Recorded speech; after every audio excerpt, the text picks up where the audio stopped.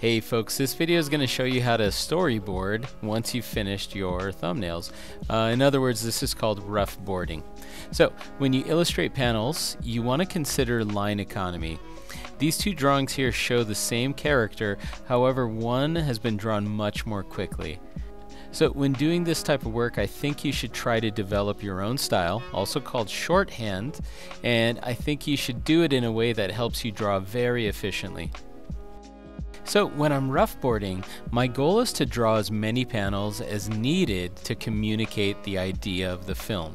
I want to add in visual details that add in or stack information, and I want to build a clear understanding of what's happening.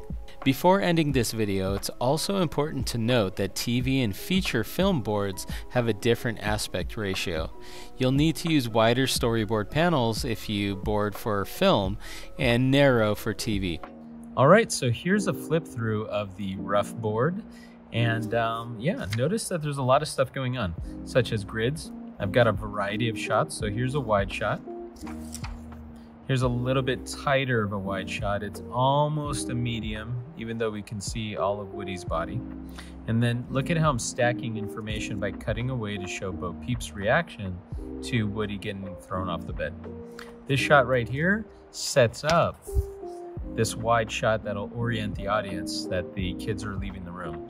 Notice that I went in and I drew lots of additional panels. So instead of drawing a bunch of arrows of kids running in and out of frame, I have this one shot of the room door open, then kids run in, more kids run in and out of frame, and then the door finally closes.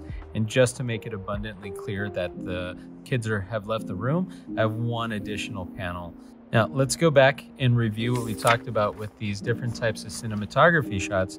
I've got a nice full shot right here. It's kind of like a, almost like a wide shot of Mr. Potato Head. I'm stacking information so you could see the characters that are off to the left and right. Um, they have reactions on their faces, but even though I could have drawn this panel with one piece or one panel with this piece of dialogue, Note that I'm drawing an additional panel with some acting that's happening with Mr. Potato Head and a reaction from the characters.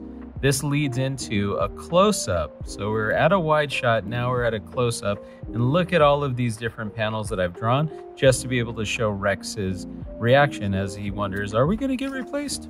So hopefully this all makes sense. Um, there's no real one way to do this. You just need to be clear and communicative as you try to rough board so people get an idea of what your film's about. All right, guys, I hope that was helpful. Do me a favor and go give this a shot. Thanks for watching. Bye.